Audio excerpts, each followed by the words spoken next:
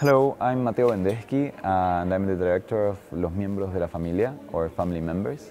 Uh, I hope you enjoy the film. ¿Qué hago? Trata de relajarte y mantener los órganos mirando al cielo. Cerra los ojos. ¿Puedo hablar? Sí, pero tenés que quedarte quieto hasta que te diga. Mientras te voy a ir apretando los centros magnéticos para que se activen. Dale.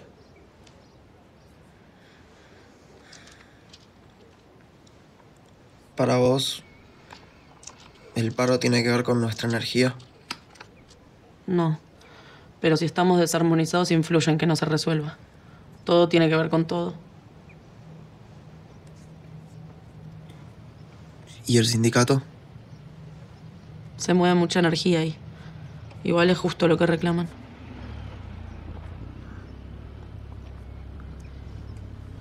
¿Sabes que hay gente que piensa que el universo en realidad es un programa de computadora? Con más razón. Todo es energía. Esta casa tiene una energía horrible. Y sí, ¿qué te pensás? No, pero antes también. No sé por qué a mamá le gustaba venir acá. ¿Quién es? No sé. Hello and welcome to the 33rd Teddy Award. I'm Hannah Congdon and I'm here with director Matteo Bandeski to talk about his film Los Miembros de la Familia. Hi and welcome to the Berlinale. Uh, hello, thank you very much. Yeah, how are you finding it so far? Oh, very nice, very, very Yeah. nice. I'm very happy to be here. Yeah. Um, and so to, to talk about the film, um, I think a few of your films have dealt with the kind of the genre of magical realism, um, this one included, and I wondered what drew you to that particular genre. Uh, well, first of all, I, I, I'm very interested uh, personally in magical, magical realism. I think it's, it's a beautiful genre and a beautiful way of telling some of the stories I'm interested in. But also in this particular film, I feel that uh, the moment in life where characters are, uh, teenage years, and specifically teenage years when there's a grieving moment, like the, uh, I feel that reality and the, ma- the, the, the magical world get a bit a bit mixed up. So the boundary between what's real and what's not gets a bit diluted. And I felt that for this particular story, that would that, that, that worked very much. And I don't know, I, I, I really wanted to tell it that way. So And um, the grief is obviously a big theme of the film. Is that Yes. something that you based on your own experiences at all? Yes, it, there's many of the elements in the film are autobiographical, but uh, many are not, of course. Uh, I feel like even wh- whatever this film would have been about, it would have been a bit autobiographical. But in this particular case, yeah, there there are some uh, personal elements in the film. More so than in other films you've done? Uh, I feel that in retrospective, if, if if you watch any of my previous films, you're gonna see many things of myself in them. I I, I, I, I try to put as much of I, I, I wouldn't say my personal experience, which some of them do, but of myself in general. Like not like some some are experiences, some are uh, feelings I have, some are things that happen that literally happen to me in the same way. Uh, so it's a mixture, but yeah, there, there, there, is a lot of me in the in, in, in my films. Yeah. And I found the setting quite interesting. So it takes place in this slightly mysterious coastal town in Argentina. Um, and visually it's amazing as well. Everything seems to be kind of crumbling and falling apart. Um, and I wondered why that setting and how did you find the locations as well? Is it all set in the same place? No, it's it's it's uh, we invented that town. It's actually seven different places, uh, or six or seven different different towns. I had this idea in mind. I wanted, uh, I had this uh, archetypical places of, uh, places of the Argentinian coast, like the the pier and the fitness plaza and and then we started scouting. It was a very long scouting because I had uh, uh, very particular ideas of what I wanted in mind. And when we found it, we decided it was best to just create a like invent a new town. and the Argentinian uh, Atlantic coast has this very melancholical thing to it, uh, the, the, crumbling thing you say, uh, that for me was very, very interesting. It's, uh, it's a very particular subworld. It's a, a very a, a, thing that represents very well the Argentinian middle class. It's a vacation place for Argentinian middle class, and for me, uh, it's a, it, it's a very magical place. Uh, it's it's a, a, a, bit it's melancholic, but at the same time it's very special. It's very different. I don't know. It, it has like these thing, and especially in winter when it's empty, it's I don't know. I, I like I like it very much. Yeah, it's funny because you uh, talk about it being like a magical holiday town, but that makes me think of kind of sunsets and, yes. and really beautiful scenery. But it's, it's not that. So why, why, why did all. you choose to do winter? Because I well, first of all, I, I, I love the Argentinian coast in winter. It's completely empty. I mean, it, it looks. It, it, it, looks and it feels like a deserted town because almost no people live there. Uh, it's a these are very small towns that are prepared to receive many, many tourists during the summertime. And in wintertime, they're empty, and you can feel that this idea of a place that is meant for something else. And I like that setting for the film. It's like, I felt that it made the characters feel even more out of their place in the world. Like, okay, not even not even the setting is receiving us. So everything was I wanted everything to be very like hostile, but quote unquote hostile for them. Uh, and I felt that the the Argentinian coast uh, in the winter was was a great setting for that. Mm. And also, it looks amazing. So that's that was yeah. also something that that I was very interested in. And the style of conversation is this very deadpan, almost overly, like exaggeratedly serious tone. and I wondered why you chose to use that style. Be- well, I think uh, I, I, I, you mean that for the like for the comedic parts or for. Um, I think I, personally, this is a very personal thing, but I, I, I think comedy works better when everybody's serious. Uh, it, it, I, I, like that kind of comedy. I, like the way they say things, and I, I, love exploring that way of acting with, with the actors. So uh, for me, it's something that I've been working, like this tone is something I've been working with uh, for all my previous films, and this one included. And there's something in the tradition of the absurd and the dry comedy that I, I, I really like, and I, I feel it works very well with the kind of comedy, very, like, again, it's a very dry, dra- dramatic comedy, uh, but it, it, it worked for what I wanted to do. Yeah, and how did you get the actors to work with that? Because they're often saying things that are very absurd, but they're having to keep this completely straight face and very sort of monotonous tone. Yeah. How did you get them to, to cope with that? We had to rehearse a lot. We rehearsed for three months before. Uh, it was a very intense rehearsing before the shooting, but also because uh, we had to have the main actor uh, training. He, was, he, he did a very intense uh, physical training to be in shape for the film. So we, we mixed that with a, a lot of rehearsing. It was very specific, very particular. Uh, at some points, it was, I don't know, we, we, we, worked a lot over the tone and over the way I wanted them to, to say some things and the cadence I wanted the, some of the dialogues to have. Because for me, at some point, uh, it has a, a, a, like this idea of this very deadpan tone has a very musical idea to it for me. So it, it has to be very precise. So it, it, it, needed a lot of rehearsal. Yeah, I can imagine. Yeah.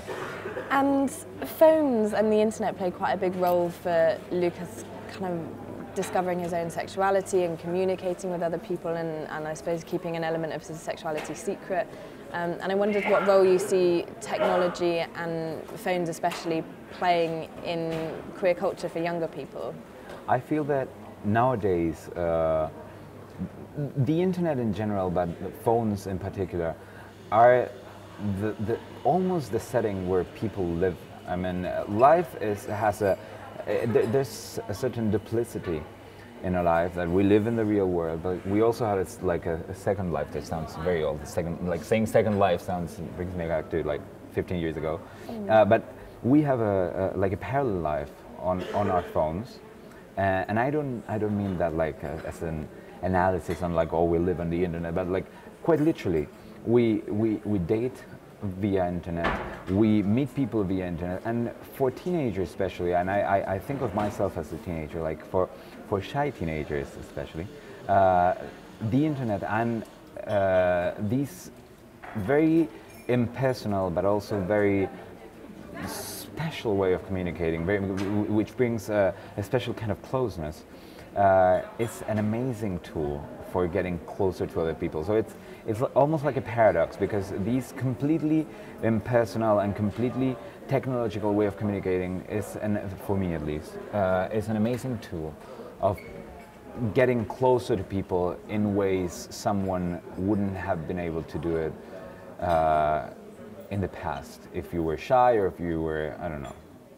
So I think it's it's uh, it reflects very much the way that young people or younger people uh, live nowadays and communicate nowadays. And I, I, I, I mean, I, I saw that also between shots, like when we were shooting, on the way the actors lived. I mean, the way they, they, they, they, they live their life. I, I feel like I'm 75 years old when I'm saying this.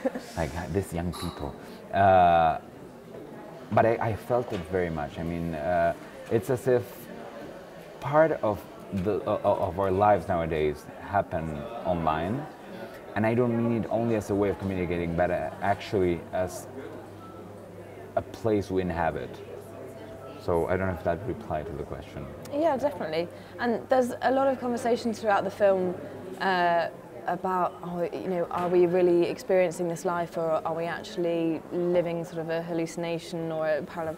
And was, was that linked to maybe a critical um, idea of the technology leading us into a, a virtual life that doesn't actually provide any authenticity? Uh, I, I'm not against that. I don't know. I, I didn't think of it as a, as a way of criticizing that, but more as a, uh, as a way of having the characters think about their own existence. It's, it's, I, I, I think it's, it, it works more uh, around the idea of questioning your like our own place in the universe. Like, okay, so what is this? And we have different way of seeing this. I mean, Gilda has a very spiritual uh, way. Like this quest for meaning goes uh, more uh, around a, a, spiritual search.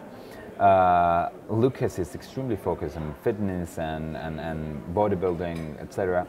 And I like the idea of having this very, like this character who is Guido, who is very focused on his own body too. He's, a, he, he's another like fitness guy.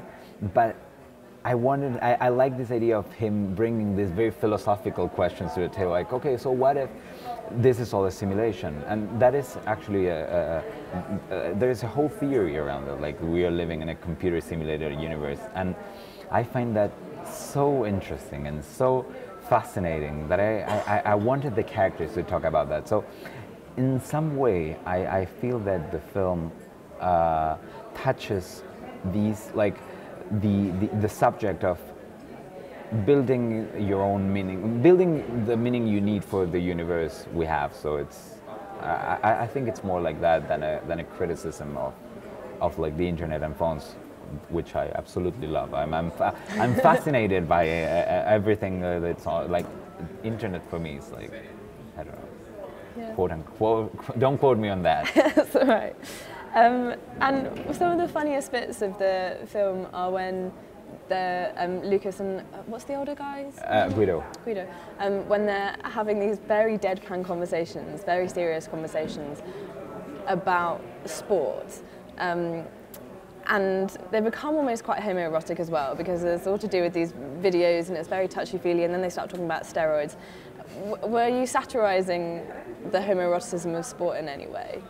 Yeah, I mean, you, yeah, you could say that. I mean, my Yes, there's a lot of. I feel that, uh, especially in, in Argentina, that is a very a, a very conservative country in many in many ways.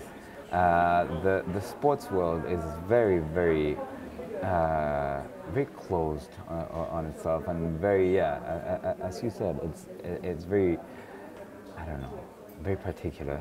So I, I, I wanted to satirize. Yes, I, I, there's a bit of a satire on that and this idea of I don't know like the, the the macho thing of sports and how, like, especially in Argentina, where it is very uh, cultivated.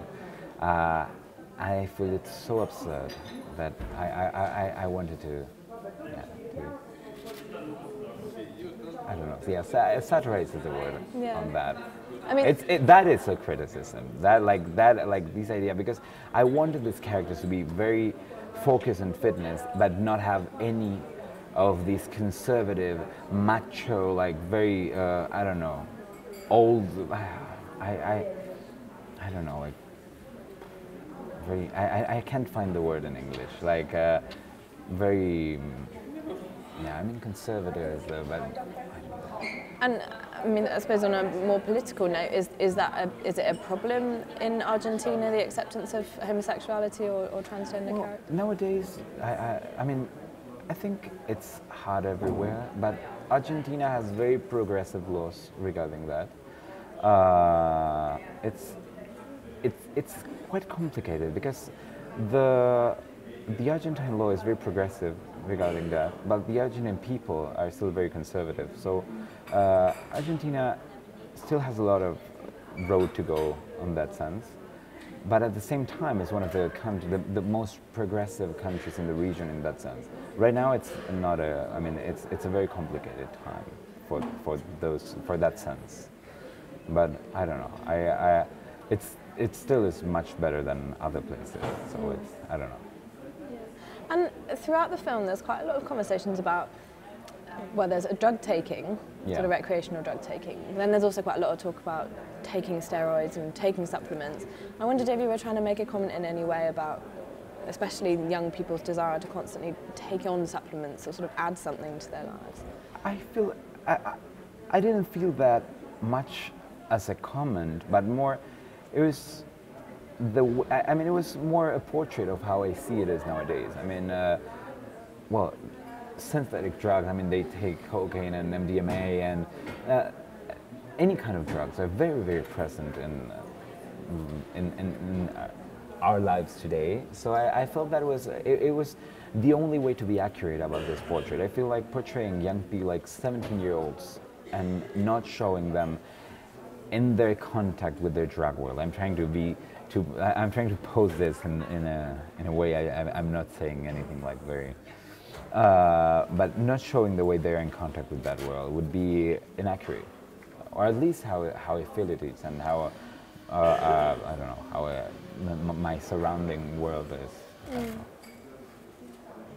And even though a lot of the film does have this underlying humour, it's very poignant at moments. I thought, especially the relationship between Lucas and his sister. Yes. Um, and there are quite a lot of open conversations about issues of mental health and depression. Um, Absolutely. And yeah, I, I wondered if you could elaborate a little bit more on why you wanted to include that.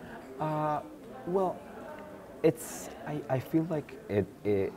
It's very much the same as with the track things. I feel that those are issues that are part of our lives today, and not including that would be very hypocritical.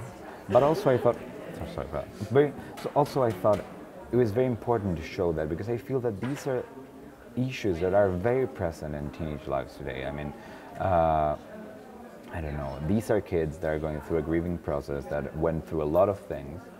And the way it appears, I don't want to spoil the film, but it appears at a point where they allow themselves to talk about that. And that is the moment when they, are, they, they really set, the, they, set themselves free in some way. So they, they, they, it, it's as if at that point in the film when they, are, they, they allow themselves to talk about that and they, they, they get to that point when they uh, have that com- those conversations. Uh, it's a moment when they let go of all of, of, of this burden they're carrying. So I, I, I feel that from then on is that the characters are allow themselves to, to or are liberated from this this this, like, this burden. And I wondered what inspired Gilda's character, especially because she's quite, quite hard to work out, especially at the beginning of the film. She's quite cold, but a, a lot of times. But then you have these moments of real warmth and vulnerability. I wondered if there was any inspiration behind that character. Uh, well, it's a mixture of things. So there, there, there were many inspirations. Uh, I wanted her to be uh, this very hermetic character, but because I, I'm very interested in how complex feelings work. Uh, speaking, of, I'm, I'm especially fascinated by psychoanalysis, which is huge in Argentina, uh, and I like this idea of feelings being one thing, but it, being expressed as something else. So I wanted this character to be uh, to feel very guilty and also very uh, I don't know very confused about the, the, the, what, what what she was going through, and have the guilt be expressed in a way that she becomes very hermetic towards her brother. Uh, why guilty exactly? Where because does that guilt come from? I, I felt I, I, it, it's hard speaking about uh, my characters, but I felt that she knows that her brother is, is, is angry at her for having left, but she knows she didn't leave intentionally. But it's, it, it's a very, I mean, it's a very um, complicated mixture of things. So it's, uh, I think that sometimes we feel, we, we don't choose what we feel. And I like that idea of her like being, well, I, I think I'm going to spoil the whole film, but having been absent for a long amount of time and that not being her responsibility, but also being feeling guilty for that, and all of that expressing itself in a in a way that it it, it uh, makes makes her very hermetic towards her brother, and makes her very uh, almost angry and I don't know. I, I wanted it to be a, a, a, big mess of feelings, and I. I don't know. I love that character very much. I, I, I feel that the way she expresses all of this uh, shows how vulnerable, but also how tender she is. Because uh, in the end, she's a, I don't know, she's also a very confused young girl, mm. try, trying her best or striving to find some, not only some meaning in the world, but also uh, some meaning who she is or who she, what she wants. Yeah. Um, do you think that's reflected in the fact that she ends up with an older man? Is that? that's yeah, uh, I hope nobody sees the uh, the, the interview. The interview. Okay, okay, okay. Uh, no, I feel that I wanted that relationship because there's a lot of mystery around that relationship during the whole film. The, the uh, Lucas uh, suspects that he doesn't exist, so he has this idea. Okay, so who is this guy? Why do you why you, do you never have a picture of him? And why you, why do you keep it hidden? Keep him keep, keep him hidden. And I I like this idea of having this relationship that could be like it's like at the moment when he appears it's like it's a bit comedic comedic but it, it, it's a bit weird also. But I, I really like the idea of her being completely uh, not judgmental of her own relationship. She's like yeah what so what? So I, I, I thought that made the character and her own story very it was very empowering for the character.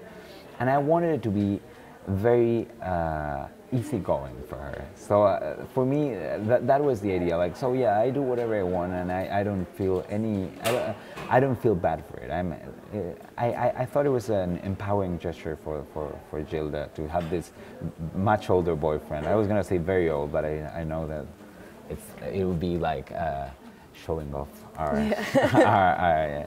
our, our um, but no, but having these relationship with a much older man and not caring about what other people can say about. So I, I feel the film is a lot about that. The film is a lot about uh, embracing whatever you like and whatever you, whoever you are, and love love that in a or, or embrace that in a loving way. Mm. So I, I felt that that was that that was the idea with that gesture. Yeah. And I'm sure you're intentionally keeping it mysterious in the film, but can you give us a, a bit of an idea about what the actual past is of um, the family and, and, what's happened?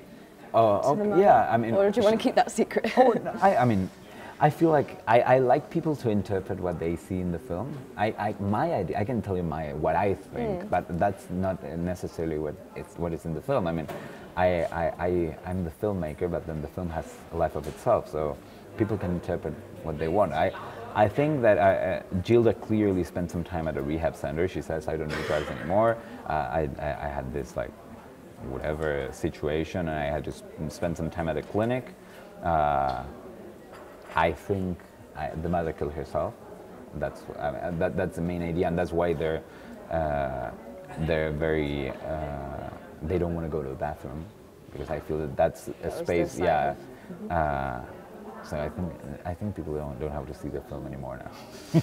Yeah, just skip that and watch Yeah, the interview. uh, but I then I, I, I like people being able to interpret what they want. I feel that leaving that space open is where the, the film becomes complete. When the audience uh, can put whatever whatever they want or whatever they feel the film transmits to them into the film, and I feel that is where the film becomes alive. So I, I intentionally leave those spaces open. Thank you so much for talking to us. It was, oh. Yeah, really interesting. And I hope you have a really nice rest of the time at the Berlinale. Oh, thank you very much. Thank you for this interview and thank you for having me here.